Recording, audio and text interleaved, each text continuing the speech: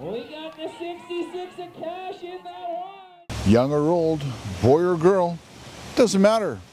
If you can ride a bike, you can join the Vernon BMX Club.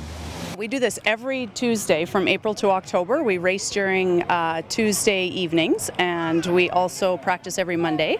And we, yeah, we're open to all sorts of uh, ages and girls and boys. For our youngest rider is two and our wisest rider is 73, a part of our club.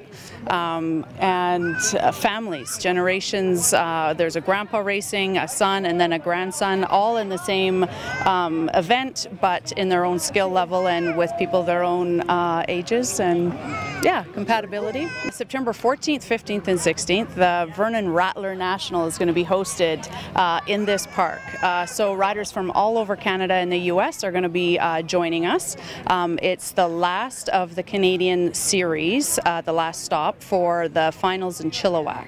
It, uh, there's nationals all across Canada and in the US, but the Canadian series finishes in October in Chilliwack.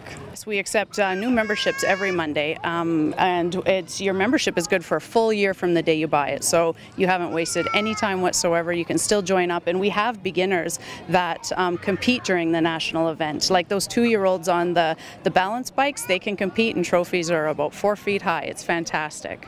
For Castanet News, I'm Darren Handschuh in Vernon.